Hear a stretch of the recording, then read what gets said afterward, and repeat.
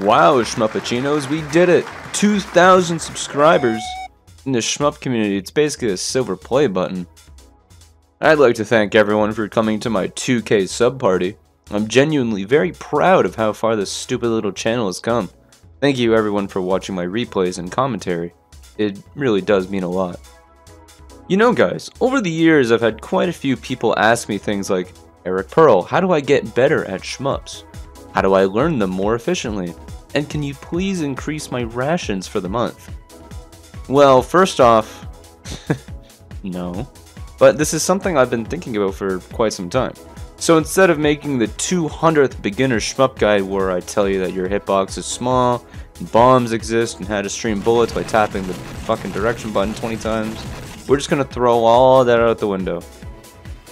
This is a shmup guide for intermediate players ones that know the basics, ones that really want to pursue higher goals in the genre and really want to get better at these games.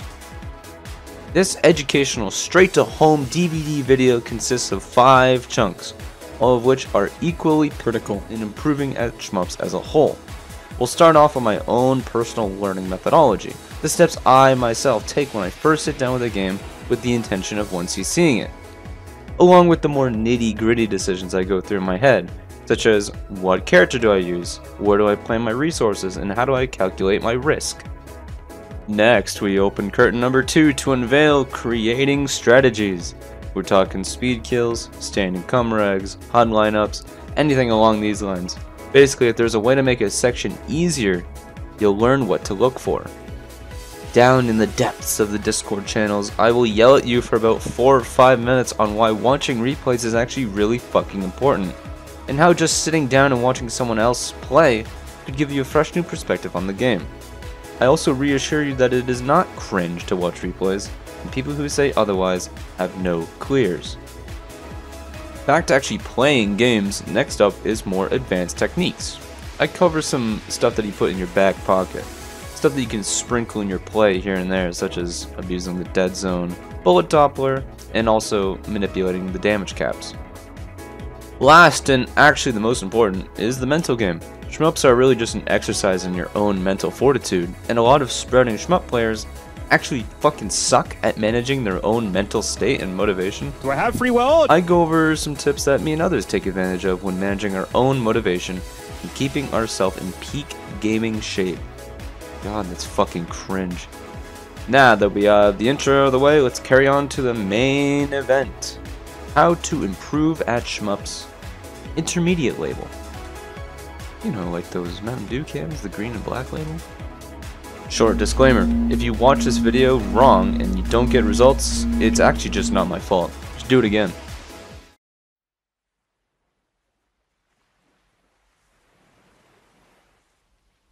You'll all be pleased to hear that I generally approach all shmups with the same spotlight.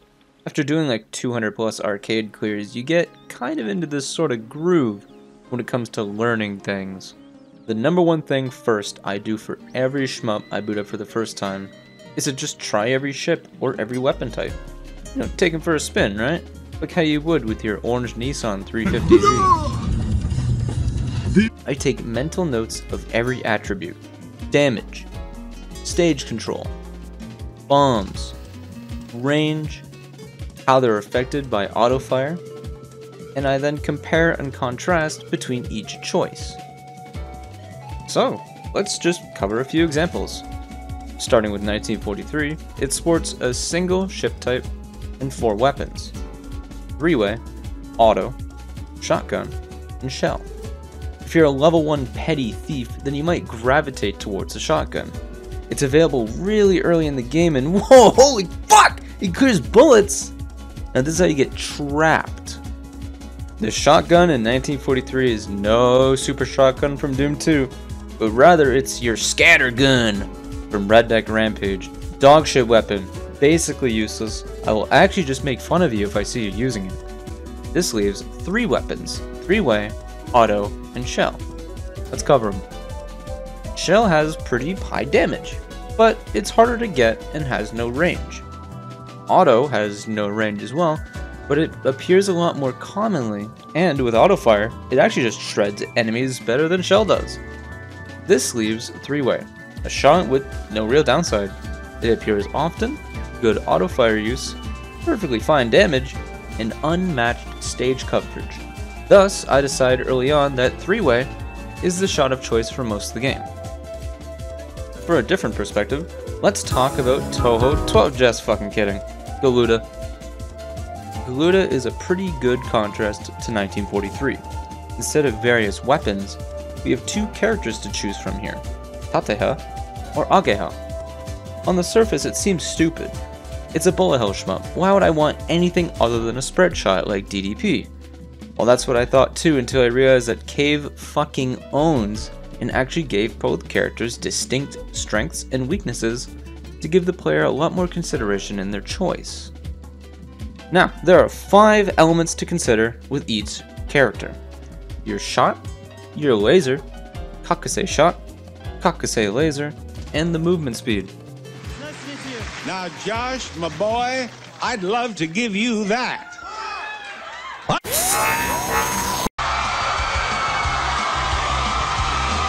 Ageha is the stronger main shot of the two, but it has the weaker laser. Sporting a 400 horsepower V8 engine, a piss poor Kakusei shot, but a monstrous Kakusei laser. With high speed, it's clear that Ageha is the pick for a player with a more aggressive playstyle.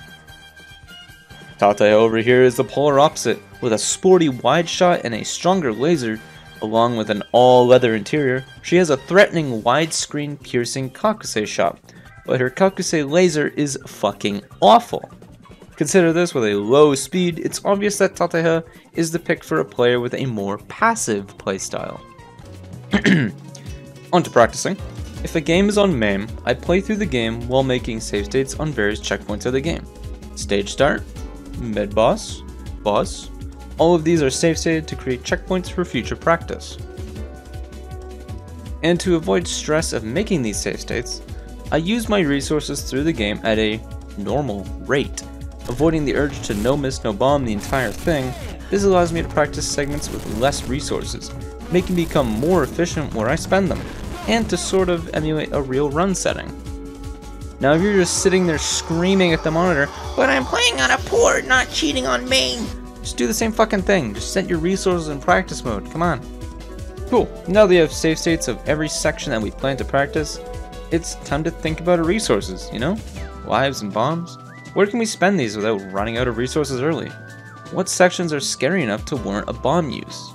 For my own play, if a section has less than 75% consistency, I plan to use a bomb here, or at the very least, be ready to bomb if things go haywire. But then there's how resources are even gained. Some games such as Shikigami no Shiro or Battle Garegga will give you resources pretty frequently. In the two cases I mentioned, you gain extra lives every set amount of points, and bombs are given through the stages or when a certain player state is reached. I'm sure many of you can put together the two puzzle pieces and figure out that, wait a second, I can plan these things and go on a spree of resource use to trivialize sections of the game, while still having plenty to use for parts that are actually hard. Last bit about bombing, I know the Touhou players are sick of hearing it in the back there. Usually, I think of the entire game resource-wise, and what segments I intend to bomb on or have a high risk of bombing. If these sections exceed the amount of bombs in the game, or the amount left is near zero, you're probably not ready for runs yet, and you need more practice, man. So, what's a good way to practice? Usually what I do, I play the stages in a row, such as stage 3, then 4, then 5, all in a row. Hard patterns in isolation maybe 10, 20 times in a row. Maybe just playing a single stage or boss over and over over the course of an hour to drill in consistency. Basically, the goal with practice is to increase your consistency and confidence for full game runs. While practicing, I keep an open mind and a close eye on various things I can adjust to my routes, to earn more freedom and get more confidence. If you're not confident in your play, it's just gonna go pretty bad in runs. No, no. This now concludes my own learning methodology. Some games only take me a few hours to go from literally never playing before to 1cc, but other times it can take quite a bit more. Everyone's results can vary here, and it's perfectly fine to take longer than expected. Just try to follow this general advice, fine tune it to your own little needs, and I'm sure you'll win if you just don't complain on Discord for 20 hours a day about how impossible Clownpiece's first non is. Don't do that. You'll need a bit more than just a good learning method though. To literally no one's surprise fucking ever, you need to actually create good strats to get more consistent. But how can someone do that on their own?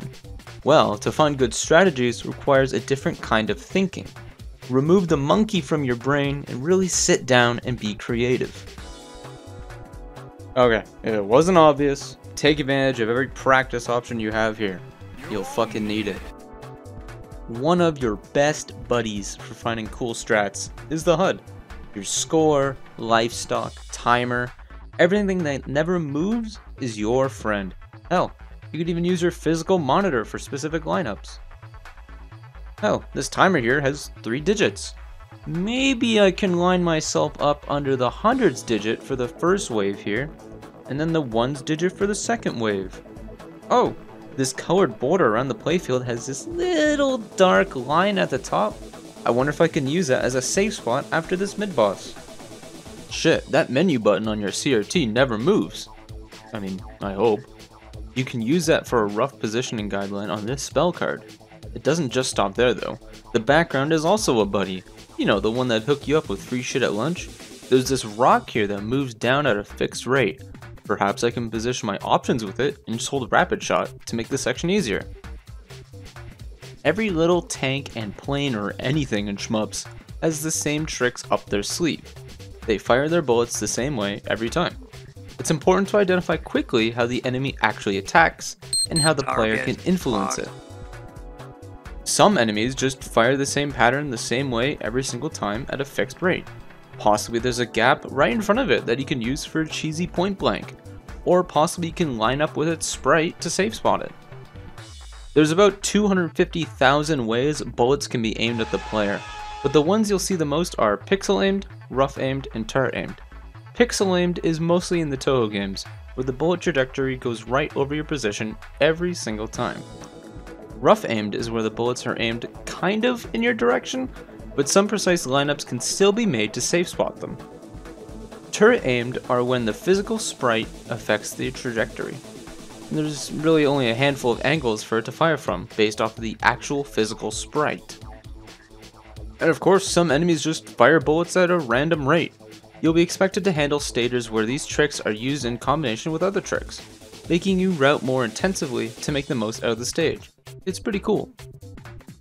Standing comrags, aka safe spots, are ways to approach a segment without any player movement or interaction.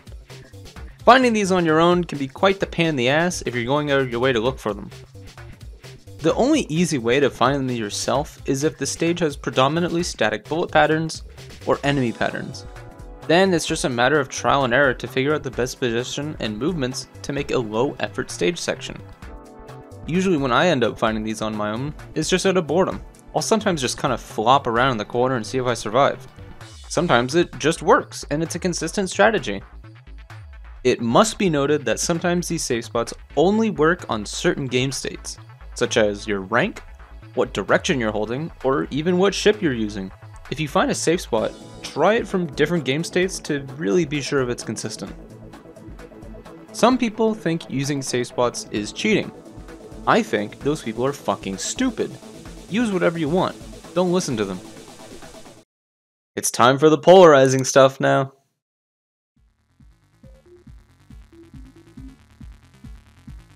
Now, of course, you don't need to watch replays to improve. Some people like figuring stuff out on their own, and that's fine. But if you're struggling, just look at a fucking replay. Nobody that actually matters is going to judge your decision.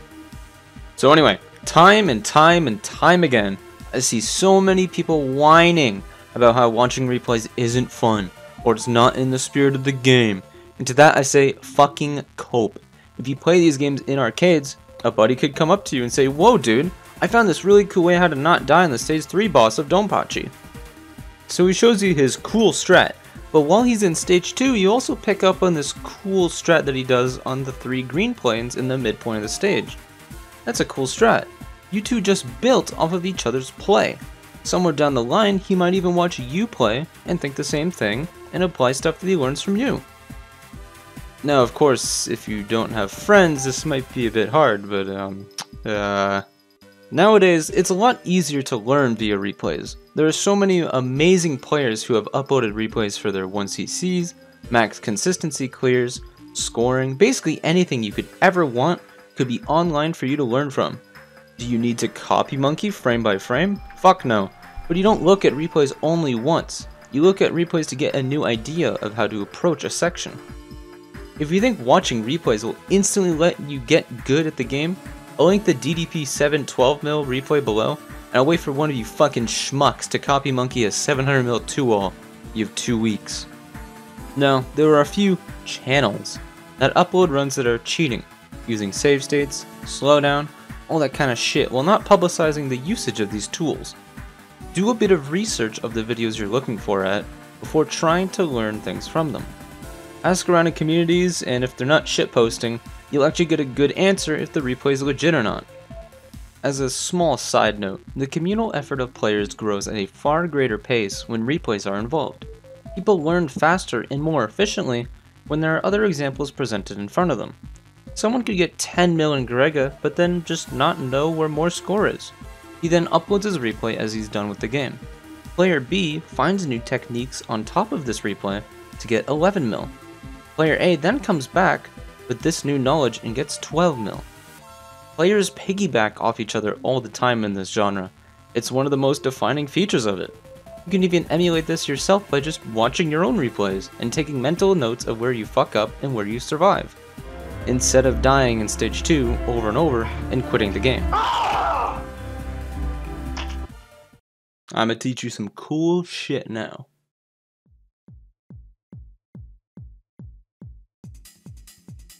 Now, please know, actually fucking listen to me. These tricks are not meant to be your main focus. They're simply little back pocket pieces of techniques and knowledge that you can use when needed. Bottom dragging is, okay, can total players stop getting mad about how it's not advanced? Thanks. Bottom dragging is when you hold down at the bottom of the screen while moving left and right to have a slower horizontal movement speed. I use this pretty often when I play on keyboard, as it allows me to have a higher level of precision on more bullet dense patterns, and it also makes precise safe spots more consistent. On an arcade stick or a controller, it might be a little tougher, but it'll still work the same. Bullet Doppler effect, as explained by Arf here,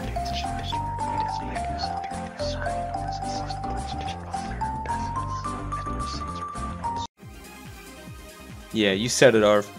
BDE takes advantage of your projectiles being closer together while moving upwards towards a target. Depending on the game and how it handles shot sprite limits, doing this with a more linear shot can kill enemies slightly faster than if you are at the bottom or up close. Useful when you have a pesky enemy that just has to get off one bullet volley, you might be able to kill it before it gets any of them off. Dead Zone is a staple in quite a few arcade games, but predominantly you'll see them in Yagawa's titles, the edges of the screen in some games makes all enemies invincible. While this is a detriment to you, it can actually be spun into a bit of a benefit. Why bother being under the enemy frame 1 when it doesn't even take damage for a few seconds? Use those other seconds to deal with other threats while moving towards the previously invincible enemy. The dead zone can also be used to push bullet spawners off screen. If the game in question has a scrolling screen, it can actually trivialize some bosses if you can take advantage of it. Damage caps are a fucking nightmare. Losing damage just because you're hitting the boss with a bunch of stuff at once? Fucking annoying! Some games have a per frame limit such as ZUN's games, while others have attacks that do more damage than others, and you need to ensure that the lower one doesn't take precedent. Something that is far more prevalent than anything else mentioned here, but is something I don't see people do, is fucking bullet sealing. Some enemies, when you get close to them, won't fire shots at you anymore, Taking advantage of this for sneaky speed kills and safety is vital for a lot of higher level play. Keep in mind, sometimes the sealing mechanics can be wonky as fuck, as in Gunnail, the bullet seal hitbox extends infinitely horizontally, or the bullet seal range can be shorter depending on your rank. Memorize the level. Yeah, fuck you. Don't memorize. if, if the level cannot be beaten by pure skill, the game's dog shit. You're Here is the most important part for players that actually want to get good at this genre. As much as a lot of people are too pussy to admit it, shmups are a huge mental game. While they do require pretty intense mechanical skill and knowledge, the looming thing behind every player is one's mental state. It's actually really fucking easy to let yourself get overwhelmed by bad condition, especially if you try to force yourself to play in a bad mental state. You could be practicing for hours, playing for hours, game over into stage 2 and just getting so fucking mad but it's not because you're getting worse, it's because you're in a shit mental state. Perhaps you just had a bad day at work. Maybe you got made fun of at college. Maybe someone replied to your Discord post with a soyjak. You didn't get enough sleep, you feel like shit, maybe you're fucking hungry. All these things affect your mind, and since shmups require mechanical skill and attention, things that affect the mind affect the shmups. Let's just go through a basic list of what to do to be in a decent condition. Have a good sleep schedule, don't be bath, sleep at proper hours and sleep for correct amounts of time. Also, use a good pillow. Make sure you're not dehydrated or starving or anything. If you're on an hour 5 of gaming and you just can't, can't stop, stop, just end the fucking credit, just get something to eat. Here's an obvious one. Don't play when sick, because that's just fucking stupid. Just relax when you're under the weather. If you're in a shit mood, you're probably also gonna play like shit and beat yourself up more often. And honestly, some days can just be bad days. Take a break for the day and try again tomorrow.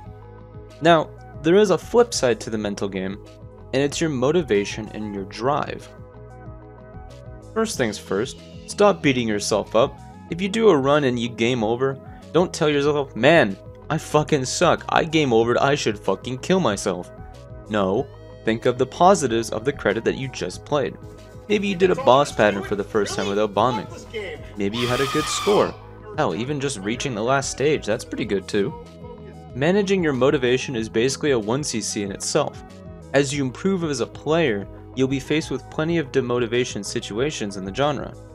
Being stuck in stage 1 for extended periods of time, game over into final patterns, struggling to learn routes, it can just tug on you bit by bit. But as with most things, you can get stronger against these negative feelings. You just need to keep your mental state high. Don't let the game get to you that much. It's okay to struggle as long as you're truly enjoying it. Which brings us to the next bit. I see a lot of fucking new and old players having this issue. Motivation and enjoyment should be the number one focus for all players. You should take time when evaluating yourself. Why am I going for this goal? Is it because I have fun? Is it because I'm enjoying the game? Or is it for clout, to look impressive? Quite a few players have misplaced motives, resulting in a lot more frustrated play. If you're playing to look impressive, I got news for you, buddy. Playing to impress will not get you far.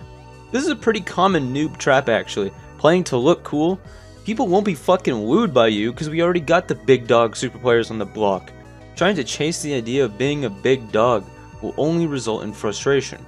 Take a step back and focus on truly enjoying the game, instead of looking cool and trying to farm social credit. So, all in all, keep your mind up high, play for enjoyment, and just take care of yourself. The results will follow after that. And that concludes my video of how to improve at shmups at a more intermediate level.